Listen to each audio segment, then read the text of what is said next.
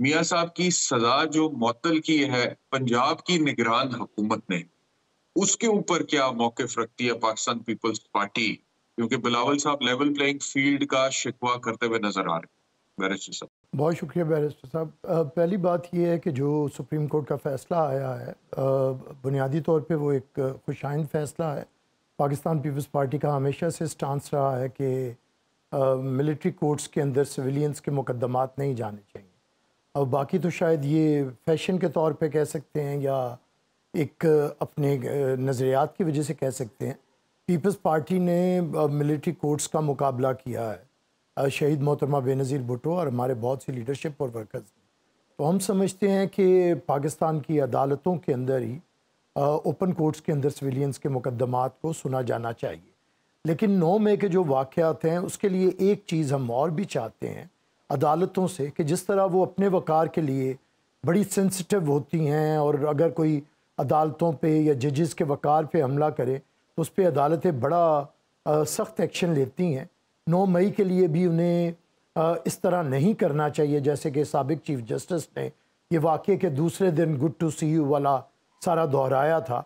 अगर वो इस मामले पे थोड़ा सा एक्शन लेते या वहाँ से हमें नज़र आता कि रियासत के हर इदारे की जो वक़ार है, वो दूसरे इदारों के लिए और खसूसी तौर पर हमारे कोर्ट्स के लिए मोतबर है। तो पीपल्स पार्टी चाहती है कि सिविल कोर्ट्स में के सिविलियंस के फौजी अदालतों में मुकदमा ना चलें, लेकिन अदालतें भी इस चीज़ को देखें कि नौ मई का वाक़ कोई छोटा वाक़ नहीं है। ये पाकिस्तान के दिफाई इदारों के को डीमोरलाइज करने का एक बहुत बड़ी साजिश थी। तो अदालतों को इसे भी देखना चाहिए। दूसरी बात जो आपने कही अलवी साहब के बारे में मैं समझता हूँ कि बस ठीक है आपने भी इसीलिए तस्करा कर दिया कि उनका इंटरव्यू आ गया। आ, वरना अलवी साहब ने ना तो ख़ुद को पाँच साल के अंदर और अब पाँच साल से भी ऊपर जो उन्हें एक्सटेंशन या बोनस मिला हुआ है उन्होंने कभी भी सिंबल ऑफ़ फेडरेशन बनने की आ, बनने का सबूत नहीं दिया। ऐवान सदर में बहुत से गैर मोतबर लोग रहे हैं लेकिन शायद उनकी खामोशी उन्हें इतना बेवकार नहीं करती थी। लेकिन अलवी साहब गैर मोतबर होने के साथ साथ जिस तरह की गुफ्तु फरमाते हैं, उसने उन्हें जितना बेवकार किया है, इस सौदे को किया है रवान सदर को किया है, एक शख्स कन्फ्यूज़न से भरपूर है। एक तरफ़ वो कहता है कि मैंने ये फ़ैसला नहीं किया, उस वक़्त के वज़ी अजम का होगा, उससे पूछें और हम तकाजा रखते हैं कि वो माइंड अप्लाई करेंगे। जिस शख्स ने सरेंडर कर दिया हो अपने जहन को, अपने किरदार को और अपनी अक्ल को किसी के आगे। जैसे कि वो आज भी कहते हैं कि मेरे लीडर वही हैं तो फिर उनसे तो तो नहीं रखनी चाहिए। बहरहाल अब ये वक्त है, जितना भी कटे, अलवी के साथ, अलवी साहब के साथ ही कटना है। लेकिन ये पाकिस्तान का एक तलख तजर्बा रहा है। सियासी जमातों को भी सोचना चाहिए कि मोतबर उहदों के लिए क्यों गैर मोतबर लोग और क्यों अपने चमचे हमेशा नज़र आते हैं।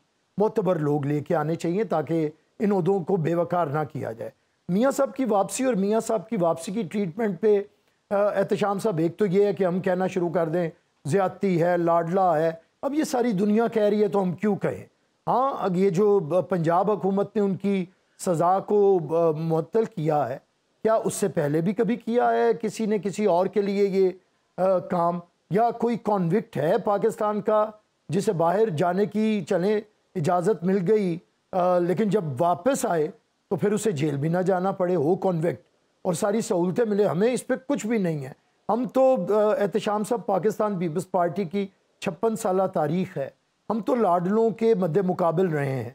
लाडलों से लड़ते रहे हैं। और लाडलों से ही इलेक्शन लड़के आए हैं। हमारे खिलाफ अमीद गुल आए आई जे आई बनाए सहाफ़ियों में पैसे बांटे जाएँ, सियासी जमातों में पैटे, पैसे बांटे जाएँ, छांगा मांगा ऑपरेशन हो, लोगों को तोड़ा जाए, हम फिर भी इलेक्शन लड़ के जीत के आते हैं।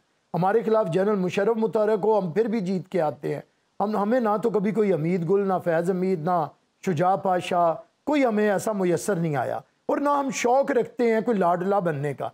लेकिन एक तकाजा ज़रूर करते हैं कि अगर मुकदमात ख़त्म करने हैं किसी को रिलीफ देना है दे भाई तो फिर ऐसा देना कि न, आ, कोई लाडला तो नज़र आ रहा है कोई सौतेला ना समझा जाए।